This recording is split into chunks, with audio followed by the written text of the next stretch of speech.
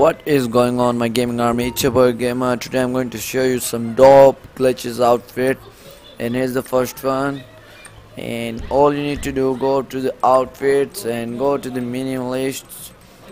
And there there where it is. Yeah here it is. And go to the Roach one and select it.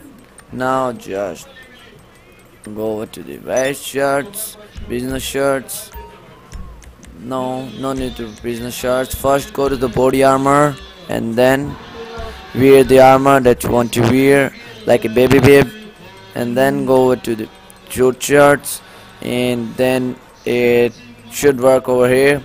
Over here this sorry outfit as as it will be in the next patches. Everybody going get shocked. So this one is done. I hope you guys did enjoy this outfit. Make sure to like.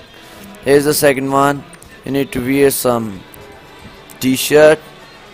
Yeah here this one. Nice no need to worry about the color because it doesn't really matter. Go to the bomber jacket. Wear any of the bomber jacket that you want to wear. I want to wear this one. And then go to the inventory. Go to the body armors and switch over to some of our armors and choose which one you want to mix with the bomber jacket. Now just go to t-shirt no t-shirt. Boom you done this funky glitch. I hope you guys did enjoy this glitch too. Please like this video for this. And here's the third one. Mm, go over to the utility vest wear any of the what you want. Uh, this black one. And then go to the leather jacket.